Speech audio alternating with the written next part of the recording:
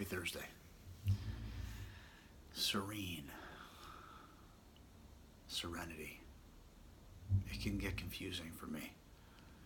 At least my mind will begin to look for things to obsess about or pick apart. And there's a bit of a dance or a tennis match that I that I engage in with just like no that's we're not going to we're not going to play that game. Just you're okay right here right now being. There's nothing to worry about and that's all right. I don't have to create drama to have meaning. I used to do a lot of that. I do less of it now. But I still get, my, my brain still wants to find things to chew on, to turn over, to figure out the whys and the hows and the, most of the, most of the time it doesn't matter.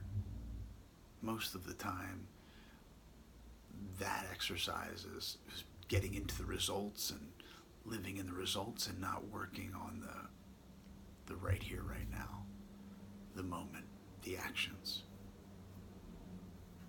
So i don't know. Something to think about. Being okay with being serene.